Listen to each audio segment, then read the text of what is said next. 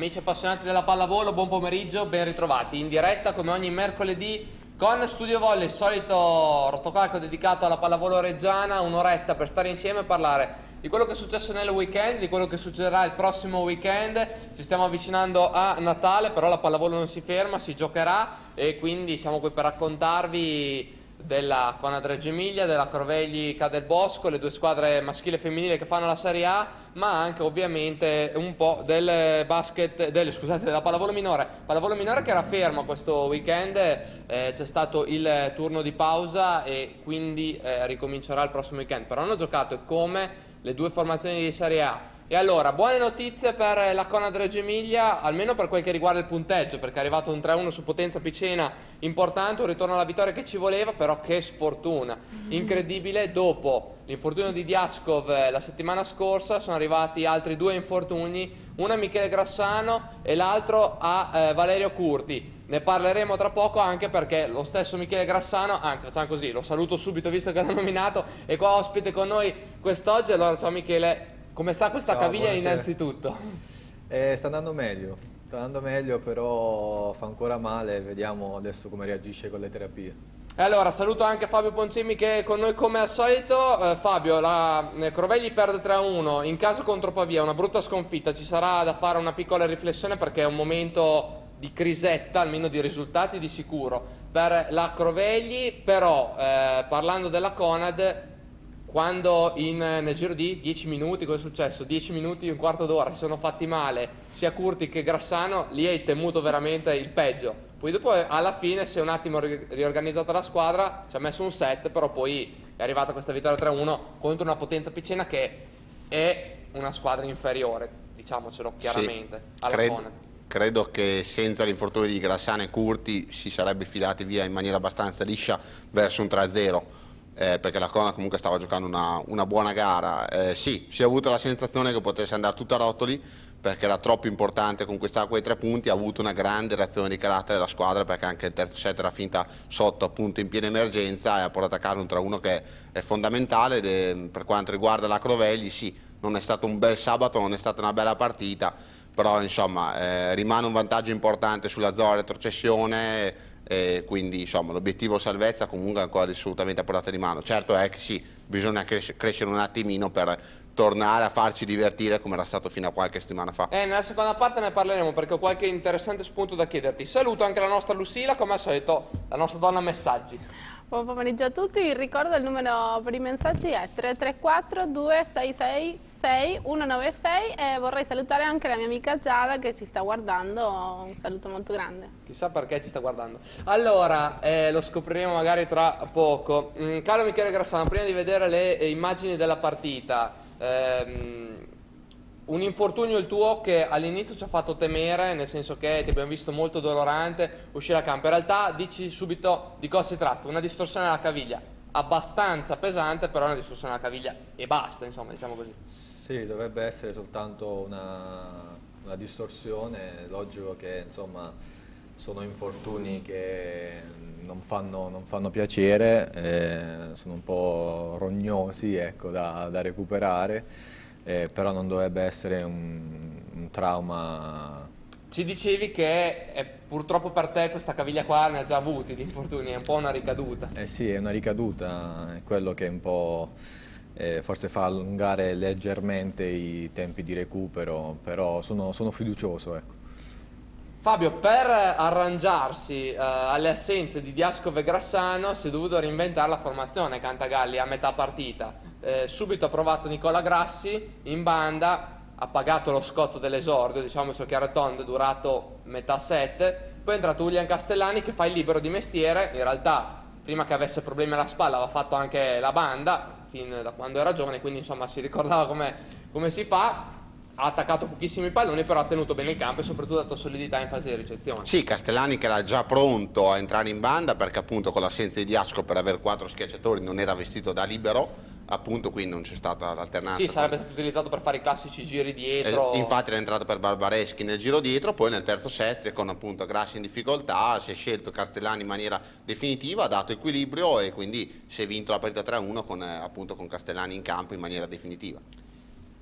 C'è stato anche l'infortunio di Valerio Curti, eh, dopo cercheremo di capire un po' anche che cos'è eh, successo per Curti, qui si tratta del ginocchio quindi è sempre più delicata la situazione anche se la risonanza verrà fatta in serata questa sera, quindi non avremo eh, notizie ufficiali. Prima però andiamoci a vedere le immagini, andiamoci a rivedere eh, tutto quello che di bello e purtroppo di sfortunato c'è stato nella gara tra Conad e Potenza Picena, 3-1 il punteggio finale, 25-20 il primo in favore della Conad sul velluto, poi quel 24-26 del secondo set, quello dei drammi degli infortuni, poi 25-23 il set della svolta dopo i problemi e la riorganizzazione della formazione e invece 25-20 nell'ultimo che in realtà nonostante sia finito 25-20 ha mostrato un divario ancora più netto. Andiamoci a rivedere gli highlights.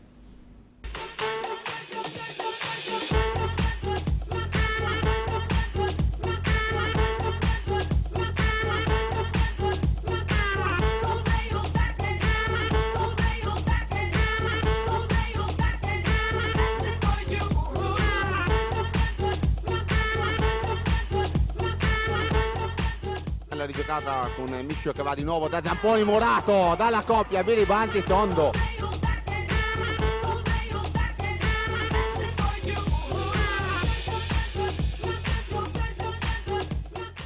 In qualche modo Grassano palla alta, bravissimo Michele Grassano.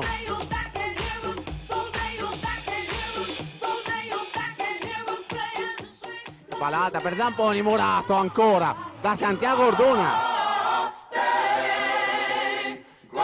Central Station, cause we've been waiting for so long.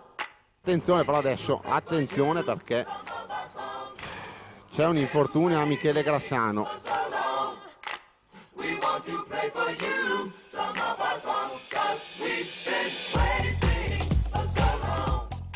Rimane a terra anche Curti, incredibile.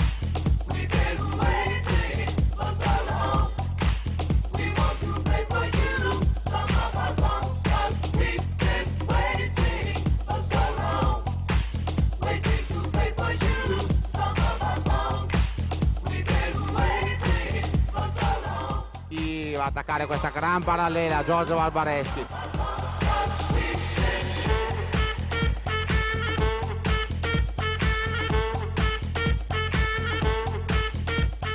Palleggio di Groppi ovviamente, seconda linea per Biribanti, a segno Biribanti, 22 pari.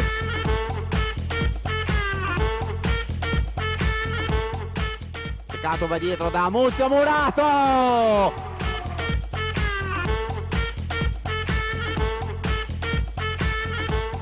palla alta per Mercorio Murato da Tondo.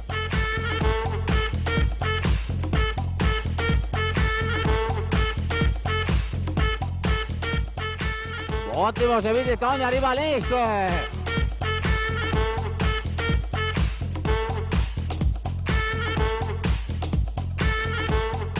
Si prosegue ancora Mischol, servizio tattico questa volta su Ricky Goi. Orduna, va in seconda linea, Barbareschi, chiude Giorgio.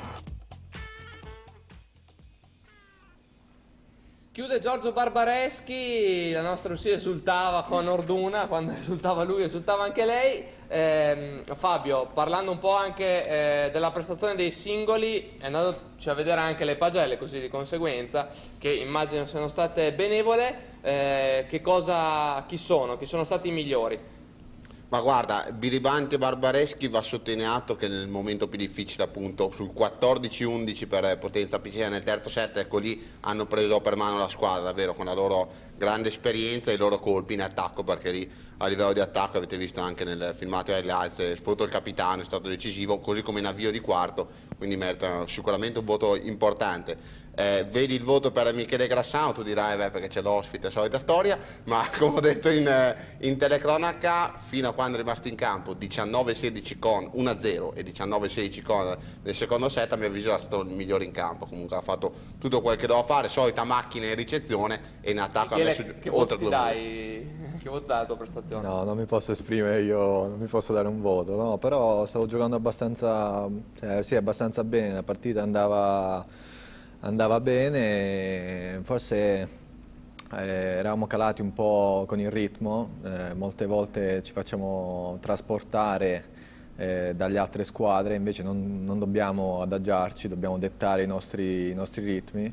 E s- Era successo anche domenica, però comunque avevamo vinto il primo, stavamo vincendo il secondo, non era una bellissima partita, però Certo che poi l'importante è il quando, risultato. quando succedono che eh, nell'ordine, nel giro di 10 minuti, tu hai preso una pallonata in faccia, poi ti sei fatto male alla caviglia, è entrato Curti e il primo attacco che fa si fa male, Biribanti prende un'altra pallonata in faccia, di sicuro il ritmo si Il fa ritmo, fatica a trovare sì. quando, quando succedono queste cose.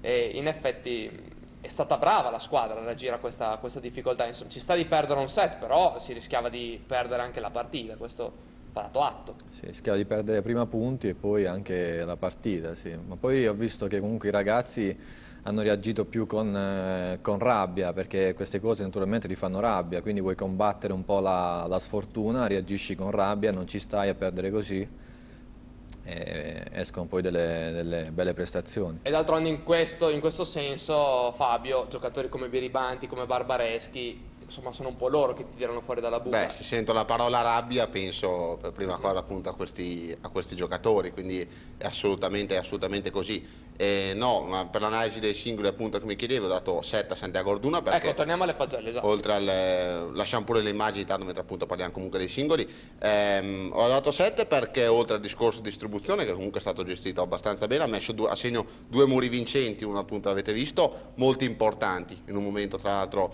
tra l'altro molto caldo quindi ha giocato sicuramente una, una buona gara Ecco, Ecco abbiamo qua. anche l'immagine singola, del, la clip singola di infortunio di Grassano, però va bene anche fare comunque andarsela a vedere qua. Eh, che cosa è successo? Sta- vedo che anche tu sei molto curioso, Michele, di capire come hai fatto a mettere male questa caviglia. E l'ho messa sul piede di, di Alessandro, di Tondo. Mentre mi giravo qui, stavo cadendo, lui è saltato insieme a me sul centrale. Come ci dicevi che non saltare. Nonostante i miei avvertimenti di non saltare sul centrale, è saltato sul centrale e io poi ricadendo, ecco sono atterrato su di lui, c'è il palo davanti, non si vede. Sì.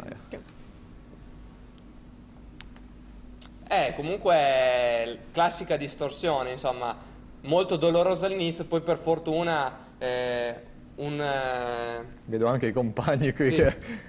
Eh, lì la reazione è stata, ma no, anche lui. Il problema è che se andiamo avanti con le immagini, Fabio, cosa è successo? Che dopo 5 secondi, 5 secondi, 5 minuti è successa la stessa identica cosa con, eh, con eh, Curti e lì si è sfiorato il grottesco, nel senso che tutti dicevano, cosa succede? Abbiamo la nuvoletta di Fantozzi sulla... Sì, sì, sulla no, testa. c'era il Palabigli, ti assicuro che era ammutolito. Senza parole. Davvero, non, non- non ci credeva nessuno. Cioè, guardate che qua Biribandi, la sua gestualità, è stato un momento Eccolo qua l'infortunio. incredibile. Ecco, qua siamo Valerio Cuti sul 23-21, attacco vincente del 23-21 e poi appunto crolla a terra anche Curti. E qua mi sembra che invece ci sia lo zampino dell'avversario, nel senso che come è successo con Diaskov eh, sul piede di Van Dijk la settimana scorsa, anche qua o ginocchio contro ginocchio, qua facciamo veramente fatica a capirlo, oppure comunque la caviglia è atterrata male e ha condizionato il ginocchio, però insomma No, dovrebbe aver sbattuto il ginocchio contro il muro avversario, così mi dicevano, ho sentito toccare il ginocchio. Eh, in effetti, vedendo dalle immagini, sono molto, sono molto- Purtroppo capita, questo è un po' eh, l'unico momento reale, insieme a quello della, eh, delle, delle mani, dove c'è contatto fisico nella pallavolo sotto rete. Eh, non dovrebbe capitare, ma a, volte, ma a volte succede. Allora, ne approfittiamone per parlare un secondo, esuliamo dal discorso Pagelle per parlare di Valerio Curti. Fabio, che cosa, che cosa succede? Eh, pare un problema abbastanza importante, comunque oggi c'è la risonanza magnetica che eh, appunto fra, fra qualche ora svelerà un po' tutto quanto, però non sembra un infortunio così, così leggero, va detto una cosa, l'abbiamo detto ancora sin dall'inizio, che coach Cantacale aveva scelto Alessandro Tondo per, come scelta tecnica per la prima volta in stagione al posto di Curti proprio, in questa partita, poi sul eh, 19 pari con Tondo che aveva attaccato fuori due palloni è rientrato Curti e appunto al primo attacco vincente peraltro perché era un mani fuori quello di Valerio appunto, eh, appunto ha avuto questo contatto. Ripeto pare un problema abbastanza serio ci auguriamo davvero che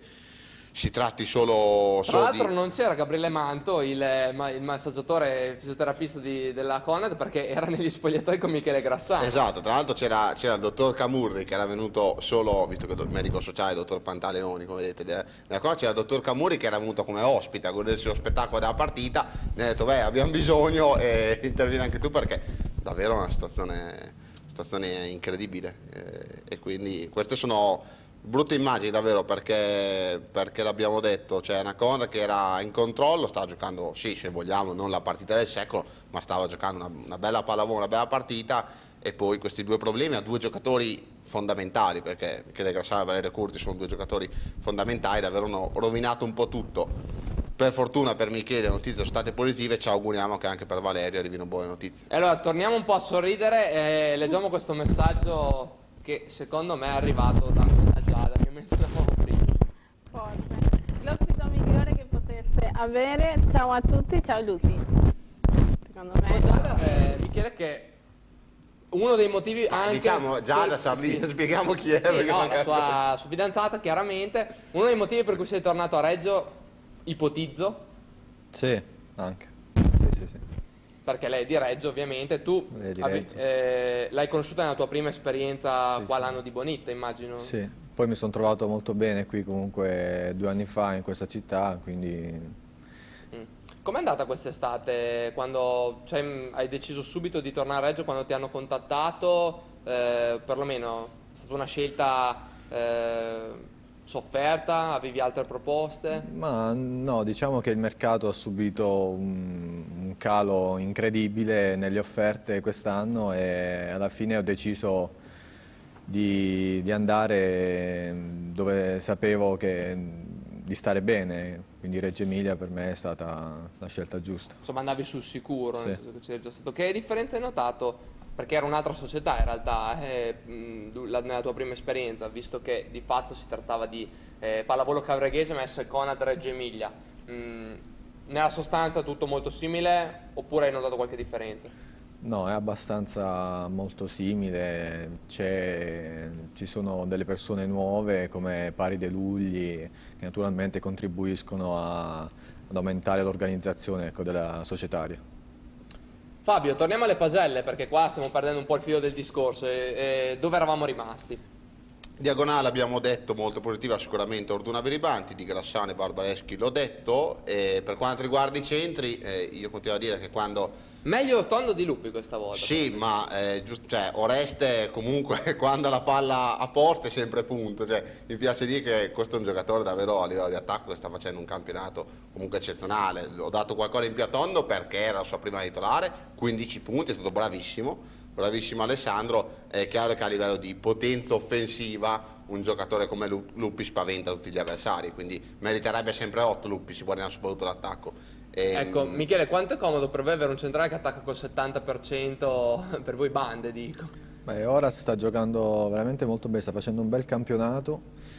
e per me potrebbe dare però qualcosina in più a Muro perché ha le potenzialità per farlo, fisicamente è anche ormai un centrale abbastanza esperto, quindi può fare può aumentare ancora i suoi punti anche col Muro. Ogni tanto chissà, sta mettendo su la battuta in salto, magari Lasciamo perdere la battuta di Oreste Luppi che è una cosa, ora se perdonami è una cosa inguardabile. Cioè.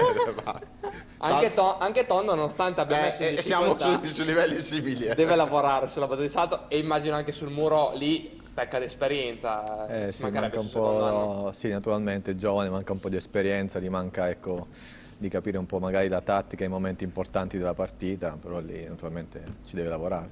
Ah, per quanto riguarda Tondo una nota importante proprio sul discorso muri, stato nei momenti decisivi ha messo giù i muri importanti, primo 7 e terzo 7 poi come abbiamo visto su Mercorio, ecco questa è una nota importante perché comunque nel momento caldo c'era, assolutamente. Per completare il discorso eh, Ricky Goi ha giocato una gara abbastanza solida, quindi sicuramente sufficienza pienissima, Ulian Castellani l'abbiamo detto è entrato col suo impatto, è stato è stato molto bravo e anche discreto in attacco, poi c'è Michele Groppi che comunque ha fatto buone cose, Pellegrino è entrato solo nelle finali di secondo set, poi è stata fatta una scelta diversa appunto a livello di, di esterni. E poi c'è Nicola Grassi, Ecco qua, a proposito, c'è un messaggio su Grassi. Come è stata l'entrata di Nicola? Come esordio? Allora, eh, io gli ho dato 5,5, ehm, va detto una cosa, un ragazzo del 94, prima assoluta per lui, quarto Matteo da Cona, certamente non si aspettava di dover entrare in campo, ha avuto anche problemi fisici comunque nei primi mesi della stagione, quindi sicuramente penso non sia, non sia ancora al meglio, ha fatto fatica sicuramente, ha avuto Il due... classico scotto delle Sì, donne, ha avuto no? due palloni puliti in attacco da poter attaccare, non se- si vedeva proprio che non se la sentiva di attaccarli, perché comunque le potenzialità questo ragazzo c'hanno, li ha attaccati, non ha messo giù, poi è andato in difficoltà di ricezione perché Muzio sull'11 pari del terzo set ha messo dentro 13 consecutivi, a quel punto Cantagalli è cambiato, ha messo Castellani e a livello di equilibri è cambiato tanto sicuramente. Come quindi un 5 che è diventato 5,5 per Grassi perché diciamo così rimandato ovviamente da, da rivalutare. Come ti è sembrato Castellani invece nel ruolo di banda? Ha fatto quello che doveva fare. Ha fatto quello che doveva fare, sappiamo che dietro comunque sostanzialmente si giocava con due liberi perché gol Castellani sono i due liberi della squadra e poi a livello di attacco ha attaccato poco ma, ma ha fatto quello che doveva fare. no? Poi l'hai detto, cioè è un ragazzo comunque che a 30 anni sa, sa come, Sa si, sa come si gioca anche in banda, sa cosa bisogna fare, quindi è una garanzia, garanzia assoluta. Allora, con le pagelle direi che abbiamo eh, concluso, sì, ho visto un 6 più a Groppi che è entrato comunque... Mi è piaciuto eh, come al solito per l'atteggiamento, la grinta, muro vincente, prima che si facesse male appunto Michele nel secondo set, bravo come al solito. Leggiamo questo messaggio su Grassano molto simpatico, poi ci andiamo a vedere i risultati della Serie A. Se volevi venire a trovarmi in piscina non c'era bisogno di farsi male, Mickey numero uno. Forse ho capito anche chi è. sì. Ho capito, qualche duro che ti prendi in giro. Va bene, andiamo a vedere la grafica della- dei risultati di Serie A, vediamo un po' eh, quello che è successo in questa undicesima giornata. È successo che Monza batte 3-0 un Ortona che adesso è un po' in crisi, dopo l'inizio davvero sopra ogni aspettativa, si sta un po' mh, riamalgamando col resto delle squadre, ma è normale che sia così. Conad potenza piccina 3-1, Molfetta Città di Castello, il big match 2-3, Città di Castello è andata a vincere anche a Molfetta e sappiamo quanto sia difficile vincere a Molfetta Città di Castello che è sempre più la numero uno di questo campionato. Michele, una formazione che fa paura questa Città di Castello. Sì, non fa tanto paura secondo me con le individualità che naturalmente A sono livello di buone. nomi e basta, sì, insomma. cioè, Però gioca molto bene, è quello, è quello l'importante secondo me in A2, avere una squadra solida, equilibrata, hanno un giocatore come Rosalba ormai espertissimo, hanno un opposto che di categoria, però secondo me è un buon opposto, però non è una grandissima individualità, un ottimo schiacciatore in banda e poi gioca Che il tedesco From, ne abbiamo parlato benissimo appunto. anche Una grande sorpresa questo From che era sconosciutissimo. Invece di quelle che avete affrontato, qual è, affrontato, qual è quella che ti ha fatto l'impressione più, più buona? Beh, fino adesso dobbiamo ancora giocare con Città di Castello, Eh. devo dire che Molfetta adesso che ha recuperato Van Dyke, eh, secondo me è una delle principali candidate ecco, alla, alla promozione. E d'altronde quando hai Saita Van Dyke entrambi in forma sappiamo quanto la diagonale alla fine sia importante. Van Dyke giocatore che faceva 30 punti a partita praticamente l'anno scorso a Sora, insomma, eh, ci eravamo un po' sorpresi del fatto che non giocasse, però chiaramente era fuori forma. Adesso è tornato, infatti vedete Città di Castello che è già a 28 e ha già 5 punti di vantaggio sulla Tripalda. Tra l'altro le due giocheranno una contro l'altra, prima però concludiamo il discorso sui risultati che eh, così facciamo un passo alla volta. Tripalda che ha perso 3-2 in quel di Corigliano, campo difficile, però insomma comunque diciamo che si dimo- dimostra a Tripalda ancora di non essere solida come Città di Castello. Insomma. Dimostra credo di essere da terzo quarto posto alle spalle di Città di Castello e Sora che sta avendo sulla grande. Che torna a Sora, Eh, sta infatti, vincendo la grande, credo che adesso siano tornate ad essere le due grandi favorite Città di Castello e Sora come era poi inizio stagione. Sora battuto 3-0 Brolo, Loreto perde in casa contro Padova, Matera riposava, Matera che è la prossima avversaria. Allora, eh, questa è la classifica, come avete visto, eh, Reggio torna a una distanza abbastanza di sicurezza con questa vittoria da tre punti, eh, 13. Sì, per il discorso playoff molto Esatto, importante perché adesso sono 5 punti di margine per, per quel famoso nono posto che va ai playoff e poi c'è un bel più 9 comunque sulla zona retrocessione. Michele, che- secondo te questa classifica è- rispecchia quello che si è visto fino adesso oppure hai qualche rammarico, pensi che la Conad potesse essere anche un po' più avanti? Beh, naturalmente ognuno merita secondo me i punti, i punti che ha in classifica, è logico che a livello di aspettative eh, mi aspettavo, ci aspettavamo tutti quanti di essere magari un po' più su in classifica, però abbiamo fatto degli errori Eh, alcuni sono nostri, alcuni sono dati anche naturalmente dai tanti infortuni, dalle condizioni fisiche, perché gli infortuni poi non sfociano soltanto nella partita, ma anche durante tutta la settimana di allenamenti. È difficile allenarsi quando si è in 10, quando si è in 9, non puoi fare squadra, non puoi fare 6 contro 6. Eh, però non sono giustificazioni, ecco, meritiamo giustamente quei punti lì e Tra cercheremo di fare... tutte le partite, a me viene in mente quella con Padova, quella non mi è andata giù, quel 3-0 casalingo con Padova. Lì sinceramente forse i punti un po' che mancano possono, possono venire anche da lì. Perché non vediamo squadre Così più forti, così sì. Più forti, superiori, con delle grossissime individualità come magari sono stati negli anni, negli anni precedenti, no? magari il Castellana, La Castellana dell'anno- Grotta, giusto. dell'anno scorso. E quindi fa un po' rabbia perdere magari 3-0 vedendo eh, giocare ecco, sottotono la squadra. Eh, Sì, Sì. anche Corigliano, anche Corigliano sono stati dei punti È vero, assolutamente. Fabio, tu mm, a proposito cosa dici? Sulla, sulla classifica bugiarda, non bugiarda? Sono d'accordo con quello che ha detto Michele, Mm, gli errori ci stanno, fanno parte di un normale percorso, i punti della Cona sì, ne, ne possono mancare 3 o 4 se vogliamo, sono d'accordo con te sulle 3-0 con Padova e con Michele sul discorso di Corigliano, però ci siamo, cioè si è comunque a 4 punti sostanzialmente dal quinto posto, poi dalle Monza, dalle Padova, che secondo me Monza, Padova, tutte queste squadre sono quelle del livello della Cona, quindi anche le prime 5-6 posizioni, insomma, che comunque Michele, poi io dico un'altra cosa. L'importante è stare dentro questa zona playoff e poi arrivare in forma quando conta, cioè nelle ultime- playoff. nell'ultimo, nell'ultimo mese, esatto. Sì, ancora non ho capito se poi nei playoff eh, la squadra che è più su in classifica parte già 1-0 oppure sì, no, perché dovrebbe quello essere nel, nel- nel primo turno come l'anno scorso, la regola introdotta lo scorso anno. quello Quello è un fattore vantaggio. importante Eh, però Sì, assolutamente. Soprattutto eh, evitando quella fase preliminare, diciamo così, di, di playoff. Allora, Eh, ed è chiaro che comunque essendo arrivati già alla penultima d'andata, perché eh, appunto domenica a Matera c'era già la penultima d'andata, tantissimo tempo per recuperare non c'è come gli anni scorsi, perché è comunque un campionato a 13 squadre. Quindi effettivamente bisogna campionato già, corto. Sì, bisogna già provare a- ad agganciare alla svelta quelle squadre di cui parlavo in precedenza, Monza, Padova e tutte queste squadre. Prossimo turno, allora parliamo della partita contro eh, Matera di eh, domenica. Trasferta per la Conad, poi c'è Ortona Sora e a questo punto il pronostico sembrerebbe verso Sora, poi vediamo se Ortona ci regala qualche altra sorpresa. Monza Corigliano, Brolo Loreto. Facciamo il tifo per Loreto o per Brolo, Fabio? Ma eh, secondo me non cambia molto. Se ne freghiamo. Sì, nel senso che no, non, non- cambia molto, sinceramente, perché comunque l'ultima contro la quartuta. No, la cosa interessante del, de- del prossimo turno è che si, si incontrano prima contro seconda e terza contro quarta. Sora Ortona e poi c'è eh, Città di Castello a A Tripalda. Tripalda che è il big match. Eh. E se Città di Castello dovesse vincere, tra l'altro gioca anche in casa, va più 8. Più 8 a una giornata dal termine del girone d'andata e insomma si E poi l'ultima d'andata, l'abbiamo accennato in precedenza, è Conad Città di Castello, quindi sabato 22 dicembre. Potenza Picena Molfetta per chiudere il turno. Allora, iniziamo a parlare un attimo del discorso formazioni, guardando i nostri soliti campetti che eh, ci fanno conoscere anche gli avversari.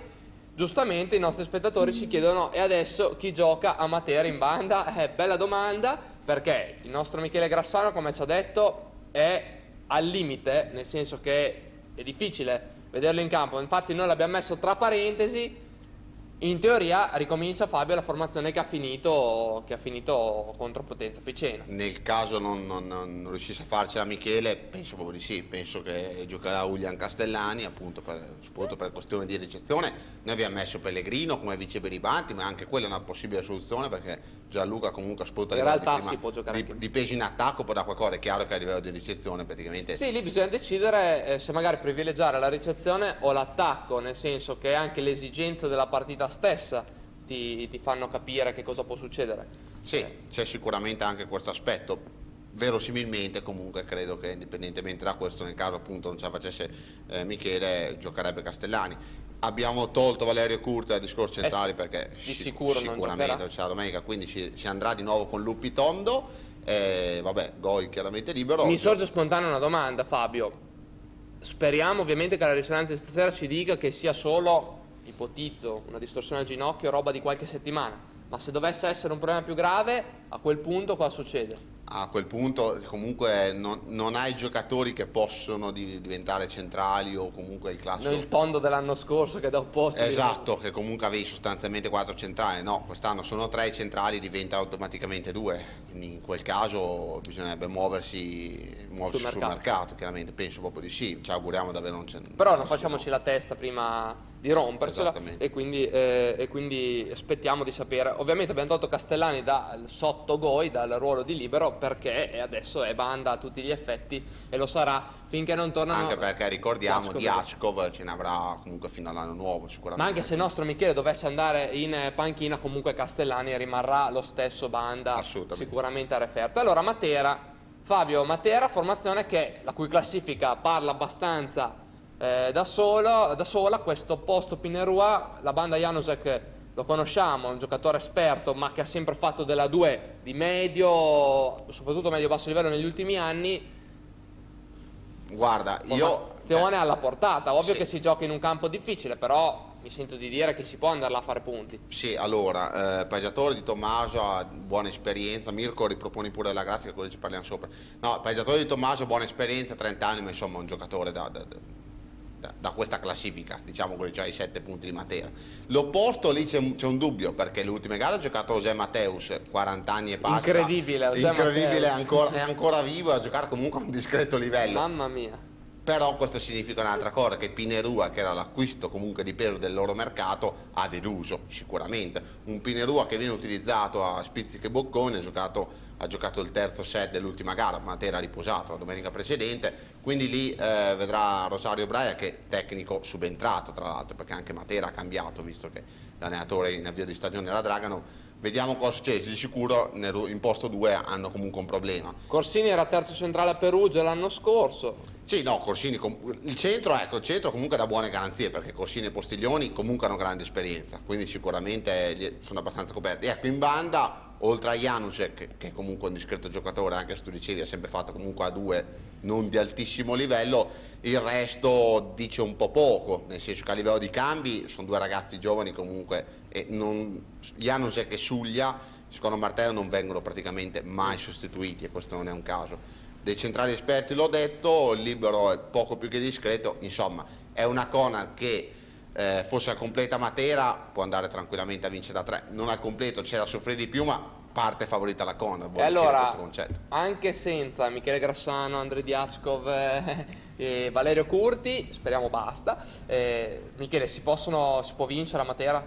Beh, l'obiettivo è quello lì naturalmente, dobbiamo prendere punti perché poi insomma in casa la partita dopo avremo Città di Castello e sarà molto, molto più dura.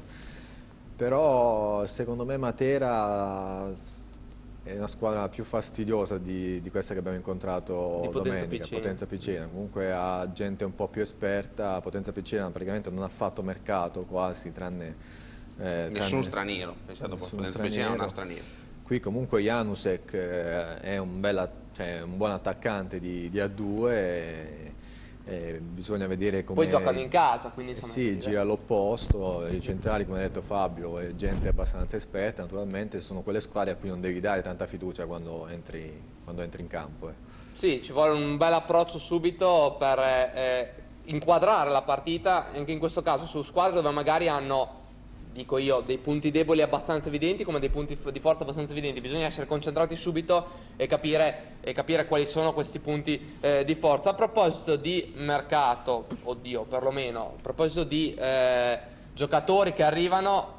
In prova è arrivato un giocatore per eh, la Conad, però qua si parla di allenamenti. Sì, non lo definiamo neanche in prova, è un eh, serbo, eh, Milos Stojkovic, classe 87, serve per allenarsi perché sostanzialmente... Chiaro, senza bande. Senza man- ci sono 10 giocatori a disposizione, il giocatore può, può essere utile in allenamento, appunto è un martello che ha già avuto esperienze anche in, anche in Serie A, ma si parla esclusivamente appunto di, di averlo tra le proprie fine allenamento, anche per lui può essere un modo per appunto rimanere in forma e dare una mano a una Conan che recupererà Grassano alla svelta, fortunatamente Diasco un po' più tardi, per il resto sul reparto bande siamo a posto, nel senso che tempo tre settimane comunque hai di nuovo quattro bande al completo. Il problema può diventare quello di Dei Valerio centrali. Curti dei centrali. Allora, prima del break ci leggiamo questo messaggio di un nostro caro ascoltatore, su Michele Grassani.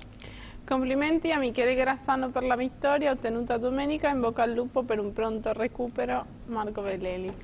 Marco Bellelli che immagino sicuramente ci scriverà qualcosa sulla Crovelli dopo la pausa. Tra l'altro ha compiuto gli anni ieri, Auguri, quindi allora. gli facciamo gli auguri Marco perché so, stramerita tifoso numero uno.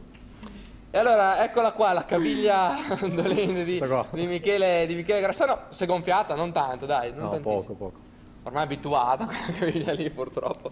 Bravo Mirko Zucchi che ha carpito questo dettaglio, ma finché riesci ad allacciarti la scarpa, allora sono buoni segnali. Problema è quando, è quando non riesci ad allacciartela. Break pubblicitario e poi seconda parte c'è da parlare purtroppo della sconfitta della Crovelli.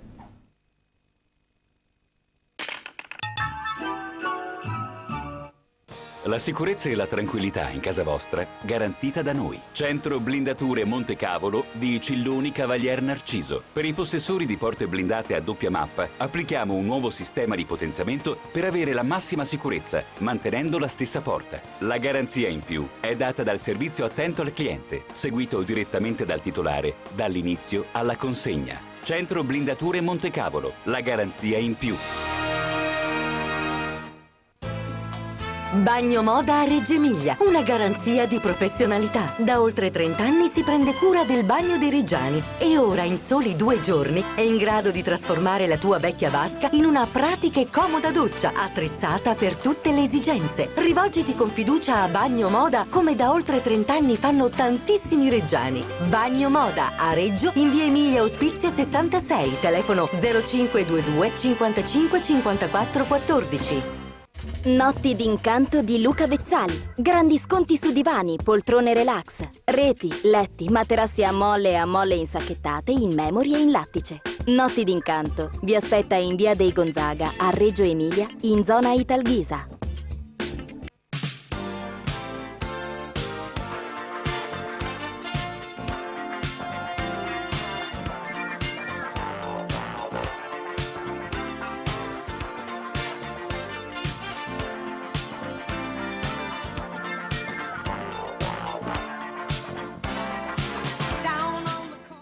Vuoi sostituire le tue vecchie finestre in poche ore senza opere di muratura? Alta Infissi con la garanzia di un grande marchio Finstral ti offre serramenti in PVC ed eleganti verande che trasformano zone poco utilizzabili in ambienti luminosi e confortevoli. I serramenti Finstral non necessitano di manutenzione nel tempo e garantiscono un alto isolamento termico acustico che si traduce in risparmio energetico. Per questo consentono il recupero del 55% in detrazioni fiscali. Non acquistare serramenti prima di averli confrontati con i prodotti Alta Infissi a Fogliano di Reggio Emilia. Eccoci qua, seconda parte di eh, Studio Volley. Abbiamo detto, c'è da parlare della, mh, della Crovelli, è arrivata una sconfitta per 3 a 1. Prima però c'è un altro messaggio sul nostro Michele Grassano, andiamocelo a leggere. Eh, anzi no, scusate, sulla, sulla Conad, in questo caso si parla di Nicola Grassi. Ci potrà essere la possibilità di una breve entrata di Grassi al posto di Cat- Castellani in attacco? Fabio, è una possibilità, però attenzione, se si parla d'attacco allora forse c'è anche Pellegrino che fa l'opposto di mestiere, quindi di sicuro in attacco Sì, può dare una mano. io mi auguro di avere Michele Grassani in campo domenica mattina intanto, prima cosa. Nel caso sì, è un'opzione... Anche senza saltare. è un'opzione possibile, sì perché in ricezione è una macchina questo ragazzo. No, ehm, è una possi- possibile soluzione qua di Grassi in prima linea perché comunque è un attaccante principalmente Nicola. Pellegrino, stesso discorso come hai detto in precedenza, quindi sì, le due opzioni sono, sono eventualmente quelle. Comunque Castellani, l'ho detto, in attacco non è poi, non è poi così malvagio, quindi... No, ovvio che ti condiziona la distribuzione del palleggiatore, quindi anche il muro avversario, però è chiaro che se poi quando viene chiamato in causa mette in difficoltà il muro, eh, allora dopo diventa più credibile di- sicuramente. Ehm, Crovelli, cosa è successo Fabio? Un primo set giocato molto bene, vinto 25-22 senza neanche troppi patemi, convincente, poi alla prima difficoltà contro una Pavia ben organizzata, diciamoci la verità, una, una discreta squadra, insomma, una squadra di medio-alto livello. In questa eh, Serie 2 alla prima difficoltà Crovelli si è sciolta. Ma guarda, è stata la fotocopia della gara con Soverato di due settimane prima, identica proprio. Partita alla grande la Crovelli, giusto approccio, quindi da questo punto di vista non si può assolutamente imputare nulla. Una Crovelli che ha giocato con la formazione tipo, perché c'è stato rientro di Ilaria Iemmi, ecco le quali immagini da gara con Pavia. C'è stato rientro di Ilaria Iemmi nel ruolo di libero, è stata meglio in settimana, ha potuto finalmente fare almeno due allenamenti e mezzo, diciamo così. Quindi formazione tipo, Crovelli che parte alla grande, va avanti fino al 16-8 Deve soffrire nel finale di primo set, già lì si era capito che Pavia a livello di gioco, di esperienza, di, di- di tenuta Si stava avere- prendendo le misure. Sì, insomma. esattamente. La Croveglia comunque in qualche modo ha vinto il primo set 25-22, poi dal secondo bisogna dire che Pavia è stata, è stata superiore. È stata superiore perché secondo l'ha sostanzialmente dominato fino al 23-16, poi la Croveglia, con una differenza di Daria Emmi che poi parleremo nel dettaglio. Sì, perché di- non è durata fino a fine partita. Esatto, delle condizioni di Ari Emmi. Eh, una Pavia che è andata avanti fino al 23-16, bella questa immagine di Glock Miami, fino al 23-16 del secondo set. La Crovelli ha fatto una cosa, un mezzo miracolo, come era stato considerato. 24 pari. Agganciando Pavia sul 24 pari, parziale di 8 a 1 incredibile con un diagonale di Cirilli splendido, 24 pari, poi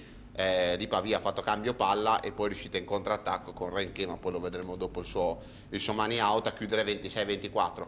Lì è stata la svolta, ma più che svolta lì è proseguito un percorso di Pavia che ha dimostrato che le ospiti erano superiori, perché il terzo e il quarto set sono finiti 25-15 e 25-17 e quando perdi con questi parziali in casa non ci sono tante recriminazioni da fare.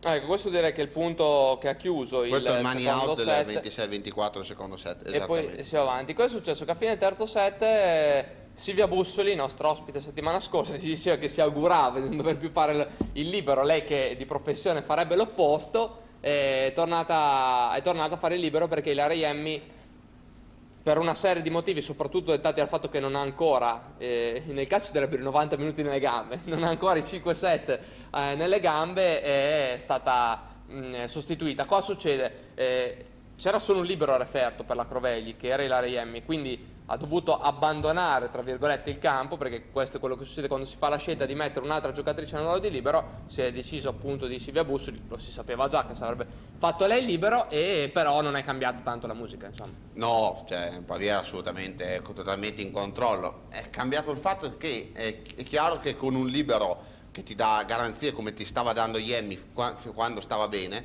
perché fin quando è stata bene Daria Iemmi ha comunque dimostrato... O Giulia Montanari prima o ancora Giulia dell'infortunio, Montanari, ancora prima, ovviamente. insomma la Croveglia aveva due liberi che in questa categoria ci stanno e come, ecco che Iemmi eh, anche sabato, fin quando è stata bene, un set e mezzo sostanzialmente, aveva comunque giocato una bella partita perché primo set aveva fatto almeno 6-7 difese davvero molto importanti, la ricezione fino a quel momento, fino all'8 a 6 del secondo set era rimasta in piedi, poi la prima cosa che è calata la Crovelli è stata la ricezione. Ecco, è da questo fondamentale che bisogna, che bisogna leggere, credo, principalmente le problematiche di una squadra che ha perso nettamente le ultime due gare ca- casalinghe, ha vinto a San Vito, quello è stato un successo fondamentale, e, e che però sì, da questo punto di vista ha- ha qualche limite ed è chiaro che il problema del libero ha inciso in questo sicuramente, poi insomma per il resto ha comunque giocato una discreta gara, Pavia Infatti, si è dimostrata superiore. Anche dalle pagelle vedo che non è mh, che tu hai detto delle insufficienze gravi, nel No, senso che no. non ti aspettavi quindi tanto di più da queste giocatrici. Questo è sinonimo che in questo momento il valore della squadra, bene o male, è questo. Cioè vedo dei 5 e mezzo, ok, quindi qualcosa in più si sarebbe potuto fare. Però eh, tanti 5 e mezzo, è chiaro. Sempre stato un 3 a 1 di una partita persa, però non ho visto fioccare dei 4, vabbè, so già che non li daresti a priori, non ho visto fioccare dei 5, delle insufficienze gravi. Questo dimostra che... Sì, che la Crovelli, l'hai eh, detto, in questo momento È questa qua. È questa qua, esatto. Contro una squadra come Pavia, che è da prime sette, comunque, come lo è Cioverato a mio avviso, anche se poi nelle prime sette sono poi sempre sette, quindi qualcuna dovrà finirci fuori. È, è bravo Mirko che ci propone appunto la classifica. Ecco, la Crovelli ha perso le ultime due in casa, nettamente, va detto, contro Soverato e Pavia, che in questo momento dimostrano di essere superiori per esperienza e anche per qualità comunque, Intanto comunque- di, di- di singoli. Rimangono tre punti dai playoff e 7 dalla zona salvezza. infatti la notizia buona è che comunque mh, ci sono tante squadre ancora nel mezzo, quindi si tolgono punti a vicenda e rimani a meno 3 dai playoff, eri a meno 2, sei a meno 3. E poi c'è un più 7 sulla zona retrocessione che comunque ricordiamocelo sempre, per chi se lo dimenticasse la sveta, la Crovelli il primo obiettivo è la salvezza, è una formazione promossa, è un più 7 comunque che dà abbastanza garanzie, anche perché San Vito, Marsala e Terre Verdiano diciamo da qualche settimana fanno fatica a trovare punti da qualsiasi partita. Due cose Fabio, la prima mm, sul discorso playoff che è stato affrontato con grande entusiasmo da Patron Corvegli ma che eh, in queste settimane forse ci ha fatto un po' ri- riportare alla, alla realtà dei fatti, cioè che è comunque pur sempre Serie A2, non è più Serie B1, nel senso che le difficoltà poi alla fine vengono fuori. Seconda cosa, per superare queste difficoltà potrebbe esserci un ritorno sul mercato? Può essere, può essere una possibilità, è difficile anche capire in quale ruolo, nel senso che può esserci bisogno volendo sugli esterni, anche se però, eh, lo dicevano anche le pagelle, ne abbiamo parlato in precedenza, alla fine Aricò 16 punti, ha giocato una buona gara, Desiree Glod ha giocato la- dopo San Casciano, i 25 di San Casciano con i suoi 21 punti e, e comunque tenendo bene in ricezione ha giocato la sua seconda miglior gara in giallo-rosso sostanzialmente. Ha faticato l'altro martello, ovvero hanno faticato Cirilli e Pistolato, perché è entrato spesso Pistolato per Cirilli, entrambe hanno... hanno- Però è la prima volta che tutti e due, tutte e due sia Cirilli che Pistato fanno Sì, fatica esatto, contemporaneamente. Perché invece a San Vito, per esempio, Pistolato era entrata, ha fatto, aveva fatto benissimo, per fare un esempio. Quindi in questo momento non ci si muove assolutamente, non credo, perché comunque la squadra alla fine della fiera ha ottenuto comunque 12 punti in, in- in 11 partite, quindi non, ha- non sta facendo assolutamente un brutto campionato. È chiaro che se andrà- andranno male anche le prossime gare, adesso ce ne sono tre davvero difficilissime perché Ornavassi in casa, Montichiari e per chiudere l'andata eh, Casamaggiore in casa, è chiaro che se dovessero arrivare tante altre sconfitte nette, soprattutto potrebbe esserci qualcosa a livello di mercato, però insomma nessun dramma, nessun dramma in casa Crovegli perché l'hai detto, l'obiettivo deve essere la salvezza, tutti quanti ci eravamo un po' illusi, io stesso anche, ma un po' tutti nell'ambiente di dire dai potremmo anche giocarci, giocarci playoff, ce li si giocherà ancora perché la possibilità c'è ancora, ma Però con- ci si è un po' ridimensionati, bisogna... Accontentiamoci innanzitutto di mantenerla questa categoria così preziosa e così eh, conquistata Infatti. con eh, eh, forza. Leggiamoci questo messaggio sulla Crovegli. Eh, grazie Fabio per avermi rinnovato gli auguri per quanto riguarda la Crovelli. Forte non è chi non cade mai, ma chi cade si rialza. Speriamo nelle prossime partite eh, di fare qualche punto. Marco Vellelli. Ecco, prossime partite. Eh, prima di eh, vedere i risultati, un flash su quello che sarà il calendario a Corvelli, perché adesso purtroppo non è facile. A memoria vado Ornavasso, eh, A Montichiari... a Montichiari e poi in casa con Casalmaggiore. Il Vedete la 26 classifica sono tre delle prime cinque. Eh, Ornavasso è prima pari merito, Casalmaggiore seconda e Montichiari, guardate dov'è, sta trovando grande continuità.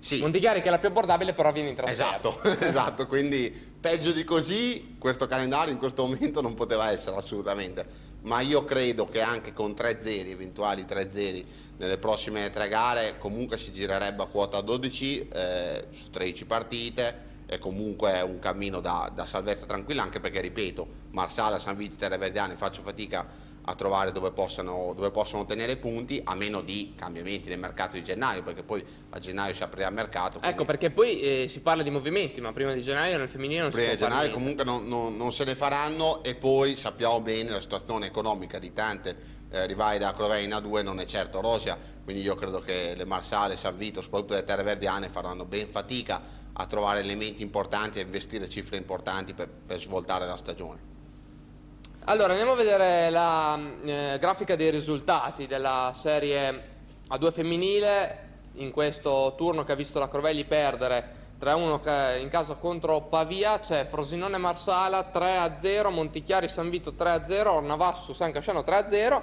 tutte vittorie da 3, neanche un tiebreak, Mazzano Novara 1-3, Sala Consilina Terverdiane 3 a 1 e Casalmaggiore Soverato 3 a 0. La classifica ci diamo un occhio ancora, visto che comunque eh, l'abbiamo già fatta vedere, vede comunque Novara Ornavasso in testa a quota 26, Casalmaggiore che è lì a 25 e quindi non è, è è già arrivata a livello di e queste tre. Casalmaggiore che ha battuto in un'ora e 5 minuti mi pare Soverato che E adesso andrà a San. Vito, quindi insomma è una Casalmaggiore che Ha eh, credo possa anche arrivare alla vetta In fondo, diciamo per fortuna, tra virgolette, che ci sono Terre Verdiane, Marsale e San Vito che si dimostrano, a questo punto lo possiamo dire con una buona certezza, se sono queste, se rimangono queste, tre formazioni che sono un passo indietro da tutte le Sì, altre. hanno qualcosa di meno rispetto alle altre. La Croveglia abbiamo detto in questo momento qualcosa in meno rispetto alla Pavia ma Soverato perché insomma ci ha giocato in casa e ci ha perso nettamente, questo va detto però contro formazioni come la stessa Sala Consilina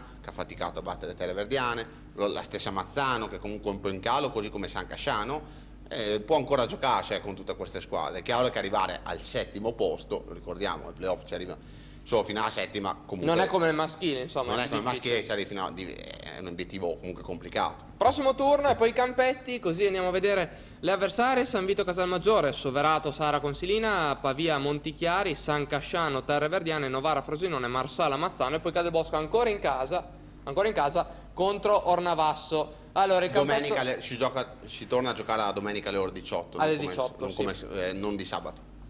Il campetto mh, della Crovegli è quello, rimane quello. Eh, l'unica notizia eh, potrebbe essere intanto il ritorno ad allenarsi di Giulia Montanari, anche se vediamo se poi andrà o no eh, a Referto, o perlomeno a Referto c'è sempre andato, se realmente può... può Sì, dovrebbe tornarsi a allenare in maniera Eh, gli facciamo un grosso in bocca importante oggi davvero, se, se lo merita perché è quasi due mesi che, che ferma, ha terminato praticamente il il ciclo di, di terapie che, eh, che sta facendo, ha terminato proprio ieri, quindi dovrebbe riuscire a allenarsi, a fare un discreto allenamento già da questi giorni. Non credo possa essere a disposizione effettiva pur andando a referto la domenica, ma forse dalla gara con Montichiari, ecco che Montanari potrebbe anche essere già pronta. E poi cosa succede? Eh, Iemmi in recupero, speriamo riesca a reggere tutta la partita e un unico eventuale possibile cambio Stefania Pistolato o comunque se non nel stato di partenza è la prima tra virgolette delle riserve. Sì, io credo che tutto il resto credo che non si tocchi, l'unico discorso, come di consueto poi, perché il Mhm. primo cambio, la prima soluzione alla quale pensa Baraldi è il cambio in banda con Pistolato, eventualmente anche per Glod, perché noi abbiamo messo tra parentesi, ma è un tra parentesi che può entrare sia per Glod o per, eh, o per Eliana Cirilli, insomma. Ok, campetto invece eh, di Ornavasso. E allora Fabio, come mai una formazione che neopromosso dichiara di voler salvarsi basso si trova in testa alla classifica? sono stati bravi, sono stati molto bravi a confermare il gruppo che li ha portati in Serie 2, perché appunto non ne ha promossa, e mm, mi hanno impressionato due settimane fa, hanno giocato un amichevole contro la Corveglia, ho presente, mi hanno davvero impressionato, questa pareggiatrice, la, La greca. Koroksidou, è davvero molto molto brava, ma la sua carriera parte da sola perché ha giocato anche le coppe, le coppe europee e in A2 ha, avuto, ha fatto degli anni importanti. Non hanno più il secondo pareggiatore perché Silvia Barra, del, avevamo detto scorse settimane, si è rotta il legamento crociato. Hanno, stanno provando una giocatrice, Laghi, vedremo se poi la tessereranno. Comunque in questo momento hanno solo una ragazza giovane, ma in effetti c'è solo un E pareggiatore. questa moneta in banda è una giocatrice che quest'estate era stata anche nel mirino della Crovegli, è Sì, vero? sì, è una giocatrice che ha avuto tanto mercato e anche la Croveccia l'ha guardato perché è una ragazza del, del 90, è una giovane davvero molto interessante, un po' discontinua, attaccante pura, ma insomma è, è bella scomoda. Il problema è Minati innanzitutto perché Minati è un posto che l'anno scorso in B1 uccideva la gente, quest'anno in A2 quasi, nel senso che sta facendo un grandissimo campionato. Senkov è un martello molto importante, com- insomma eh, anni anni. solida, insomma. E poi attenzione perché c'è Loda che non è un cambio in banda, perché Loda classe 90 deve avere un grande talento, potrebbe anche giocare titolare anche a posto di Senkova, quindi hanno anche tre martelli comunque di, di altissimo livello. Centrali, eh, Ornavasso, non ho guardato le statistiche aggiornate ultimamente, ma credo sia la miglior squadra muro del campionato, quindi anche a livello di centri, pensate che tengono Salvi in panchina, Salvi ex eh, pallavolo tra l'altro che quindi anche a centrale sta messi benissimo e poi il libero è Alessia Ghilardi che è l'ex della partita perché Alessia Ghilardi è stata, è stata la Crovei 5 anni fa, ce la ricordiamo tutti quanti, ha lasciato un ricordo splendido, è il capitano di Ornavasso e l'anima di Ornavasso perché è una giocatrice Ah, un libero capitano, eh, succede, succede pochissimo. lei è di Ornavasso proprio tra l'altro, quindi ehm, dà una carica spaventosa questa giocatrice alla, alla sua squadra, quindi Ornavasso alla quale faccio fatica a trovare difetti e quindi la vedo male per domenica, dico sinceramente, poi se arriva a casa qualcosa tanto meglio. Michele, una domanda che faccio a tutti gli ospiti. Eh, segui anche la pallavolo femminile? Adesso non parlo di Serie 2 di Croatia, in generale, anche ad alti livelli magari. No, no, molto poco sinceramente. E la pallavolo maschile invece? Eh, Sì, Serie sì, A. sì, quella là vedo dove faccio, do qualche sguardo alla Lega Volley la domenica, due partite, sia uno che a due per vedere Vai a spulciare i tabellini come facciamo tutti. tabellini, i risultati, sì, però non ci passo sinceramente molto tempo. La domenica, ecco, basta. E invece, oltre la pallavolo, cosa c'è nella tua vita? Ma ci sono altre cose, altri progetti che però non- di cui non mi piacerebbe parlare, sono come sogni nel cassetto, ecco, che, che tengo lì. E intanto invece per la tua carriera, che, che sogni barra obiettivi hai? Mm, non parlo di questo campionato, parlo in generale. Eh, non lo so, voglio anche vedere come reagisce la pallavolo nei- in, in questi periodi di, crisi, crisi. internazionale. Sinceramente ha perso tanto per quanto, per quanto mi riguarda tutto l'ambiente pallavolistico. Eh, spero che si riprenda e poi vedremo cosa, cosa fare. È un peccato ecco, ridurre uno sport secondo me così bello ma anche così tanto seguito e apprezzato a veramente uno sport eh, dilettantistico, sta diventando un... eh, sì, fare i professionisti, dopolavoro. fare professionisti è diventato sempre più difficile, ma ragazzi anche in Serie A, eh, non, non pensiate ovviamente in B1, B2. Fabio, in B1 quest'anno quante squadre professionistiche reali ci sono? Ah, in effetti credo Carpi che mi viene in mente, però in realtà tanti poi lavorano di Carpi, Sì. gli ex Correggio che conosciamo bene. è una eh. Carpi sì, che comunque Metà si e dà- metà. Sì, perché comunque si parla ancora di allenamenti alla sera, cioè quindi classici allenamenti serali e basta.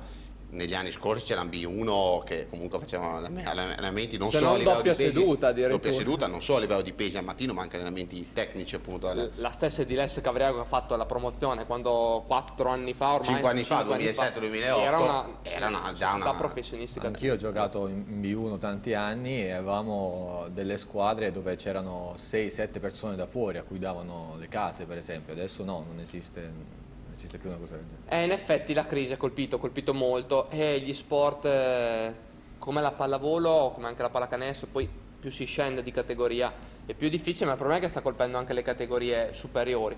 E questo è sicuramente una cosa su cui riflettere. È il momento dei petardi di Poncemi poi vi leggiamo gli appuntamenti del, del prossimo turno di Serie B2 e di Serie C. Vedo Michele Gasso incuriosito, allora Michele goditi i petardi di Fabio Poncemi.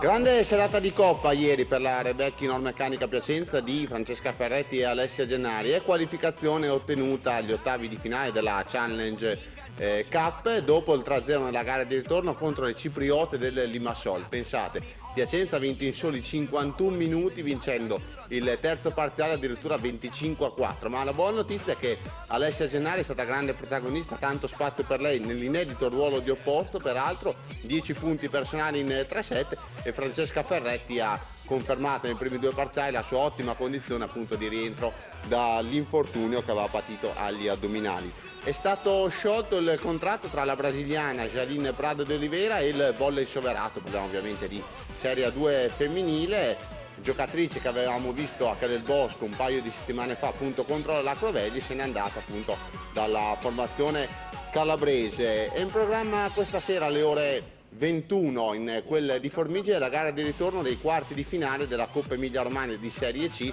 tra l'Audax Torrazzo e la CSC Poliespanse Correggio che ha vinto 3-0 la gara d'andata e quindi la formazione di coach Gianni Baratella sarà sufficiente portare a casa un eh, solo set per ottenere una qualificazione alla Final Four che comunque è il primo grande obiettivo di stagione. Bisognerà appunto vincere un set contro eh, il Torrazzo guidato dal grande ex Stefano Ricchetti che già era tornato appunto nella gara d'andata di giovedì scorso a Forte in Audi Notizia di servizio, ovvero salutiamo gli amici di 80 Nostalgia che eh, domani sera alle ore 21.35 torneranno appunto con la nuova stagione, quindi lo vogliamo ringraziare e salutare lanciando appunto il promo di presentazione. Bentornati amici di Tele Tricolori, o meglio, bentornato a 80 Nostalgia insieme a Mary, la sottoscritta e il nostro socio fedelissimo Luca. Ritorna su Tele Tricolore, il programma è diventato quasi un nostro amico di famiglia, un nostro figliuolo e con un'altra edizione grandiosa che ci aspetta, ricca di sorprese, la edizione numero 6. Quindi tutti i giovedì alle 21.35 circa su Teletricolore vi aspettiamo per una mezz'ora in compagnia delle sigle più belle degli anni 80. E come sempre, vietato marcare.